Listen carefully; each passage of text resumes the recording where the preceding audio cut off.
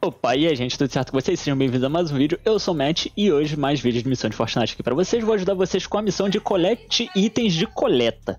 Vou mostrar onde tem esses itens de coleta aqui pra ajudar vocês. Então lembrando, se você é novo por aqui, não esqueça de se inscrever no canal, não esqueça de deixar seu like no vídeo caso goste do vídeo e se quiser apoiar o canal de alguma maneira, use o código MMATCAD ou na loja do Fortnite ou da Epic Games que isso ajuda muito o canal mesmo.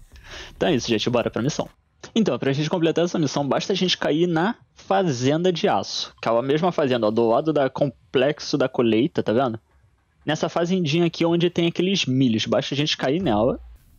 Então basta tu cair aqui mesmo, ó. Qualquer um. Tu vem aqui e consome o item de coleta, ó. Vamos coletar aqui esses esse milho, ó, pegamos aqui. Pode, eu acho que pode ser qualquer um, não sei se precisa ser exclusivamente aqui, mas aqui eu sei que tem um local, tu pode cair aqui e coletar todos esses itens de coleta. E completamos a missão.